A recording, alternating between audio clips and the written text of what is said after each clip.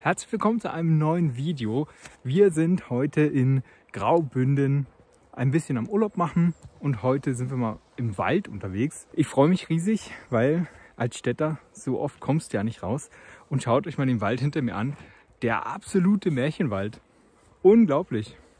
Und ich hoffe ja, wir finden ein bisschen Pilze. Und da muss man ja aufpassen, nicht in jedem Kanton darf man einfach so Pilze sammeln. Und ein Patient von mir hat schon gesagt, hier darfst du vom 1. bis 10. jeden Monat nicht Pilze sammeln. Also um einfach den Artenbestand und so zu schützen, was ich auch sehr richtig finde wieder mal.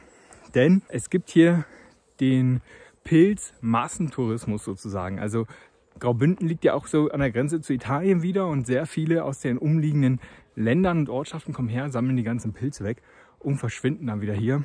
Und das schützt natürlich nicht die Schweizer Wälder. Was mir zuerst schon mal aufgefallen ist bei dem Wald, die Akustik. Ja. Jeder Wald hat ja so ja, einen ganz bestimmten Flair, ich würde jetzt nicht sagen Aura oder so, die auf einen wirkt, aber hier bei dem Wald, es ist alles voller Moos und bewachsen. Und hört euch das mal an, ich hoffe, man hört es auf der Kamera.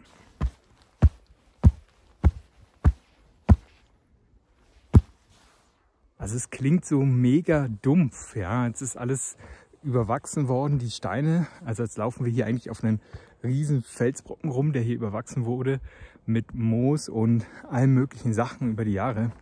Und ich finde es so schön, ganz ehrlich, wie aus so einem, so einem Rotkäppchenwald, wisst ihr? Übel cool. Heute ist natürlich ein bisschen diesig, also grau behangen. Und ich habe schon so mit Nadine gebrainstormt, der Name Graubünden könnte ja eigentlich sogar stammen, in graue Wolken gebunden. Oder? Also ich weiß es nicht, aber es klingt sehr logisch, weil wir haben den ganzen Tag heute Wetterwechsel. Also immer Wolken, keine Wolken, Wolken, keine Wolken. Und ja, vielleicht stammt er daher. Unglaublich schöner Ort hier, muss man einfach mal sagen. Also vielen, vielen Dank für die Einladung, die wir bekommen haben hier. Und wenn ihr euch für die Wohnung interessiert, wir werden auf jeden Fall ein Video zu drehen, dann ist es ähm, hier oben verlinkt. Und da könnt ihr mal reinschauen, weil ihr könnt jederzeit diese Ferienwohnung buchen, wo wir jetzt sind. Und können wir euch sehr empfehlen, weil, ey, unglaublich toll. Und es ist so ruhig. Wir treffen keinen anderen Menschen bisher, was natürlich auch mal sehr schön ist, ja, um ein bisschen zu entschleunigen. Und dann, ähm, wenn du hier durch den Wald läufst und diese ganzen Lichtblicke hast, so zwischen den Bäumen und dann diesen Ausblick da einmal genießen kannst, ist einfach unglaublich toll. Ja, und da kann man natürlich wieder mal sehr dankbar sein.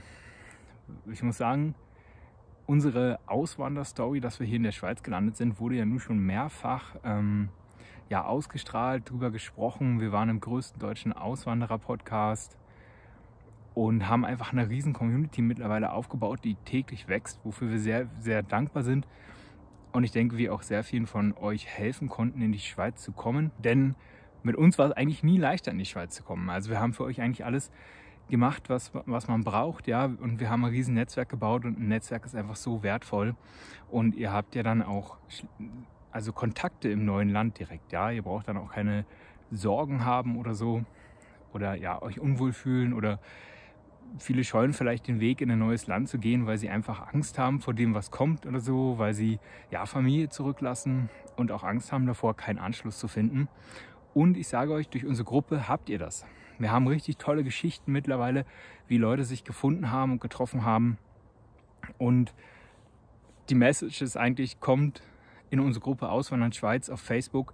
Gebt es einfach mal ein. Wir sind aktuell ungefähr 5000 Mitglieder, aber es werden immer mehr täglich. Ja, also mittlerweile die größte Community geworden und schaut mal rein. Link ist in der Videobeschreibung auf jeden Fall und in den Kommentaren. Wisst ihr, was ich gerade auch mal so gedacht habe? Eigentlich ist die Schweiz auch sehr touristisch. Also wir sind ja jetzt hier im Wald irgendwo unterwegs und wir wissen eigentlich nicht, wo wir lang gehen. Und das habe ich schon öfter gemerkt, ich hatte immer teilweise so ein bisschen Angst, auch in die Berge zu gehen oder so. Also jetzt nicht T5er-Routen mit Klettern und so ein Zeug, sondern einfach wandern in die Berge. Aber grundsätzlich ist die Schweiz ja sehr erschlossen. Und du kommst immer irgendwo raus, wo du dann den Rückweg findest. Also ist so meine Meinung, so habe ich bisher gemerkt. Ja, also ich fühle mich hier sehr wohl und hier Urlaub zu machen ist auch sehr entspannt, finde ich. Also du könntest einfach losgehen, einfach loswandern quer durch die Schweiz und du wüsstest, du kommst immer irgendwo wieder raus und verläufst dich eigentlich nicht. Habt ihr euch schon mal verlaufen oder seid ihr schon mal irgendwo da ja, nicht mehr weitergekommen? Schreibt es mir gerne mal. Nicht, dass ich hier die Leute ansporne, irgendwas zu tun, was sie später bereuen. Was mir jetzt auch mal so aufgefallen ist, jetzt wo wir hier so sitzen, kaum ein Haus hat Zäune. Also irgendwie ist alles offen, wenn ihr jetzt mal hier so guckt. Seht ihr, es sind kaum Zäune. Manche haben ein bisschen ihren Garten oder so eingezäunt, aber ansonsten ist alles offen.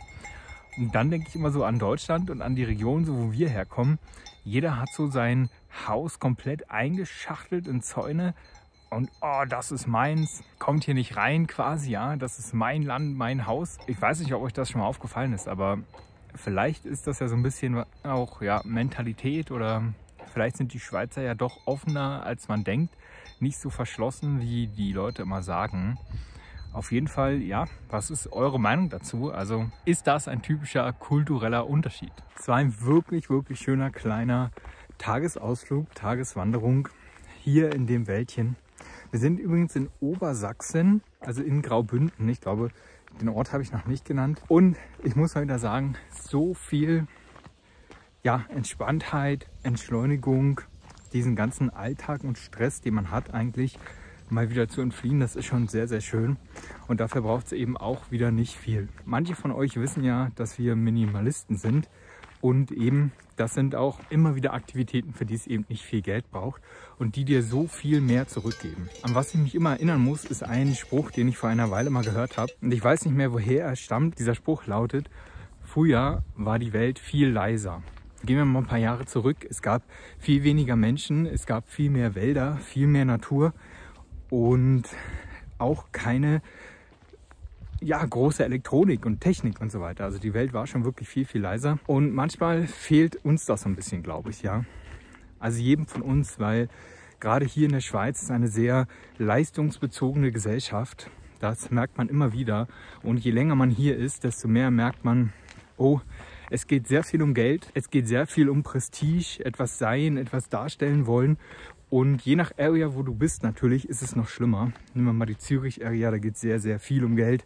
Geld hier, der verdient das, bla bla bla. Was einfach überhaupt nicht wichtig ist im Leben. Aber jedem das seine.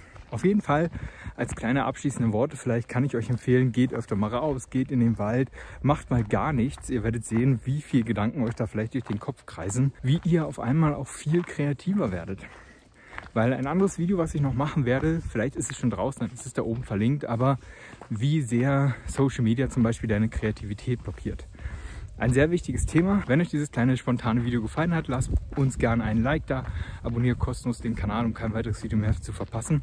Und wir gehen jetzt erstmal ein bisschen was essen. Ciao, ciao, bis bald. Macht's gut.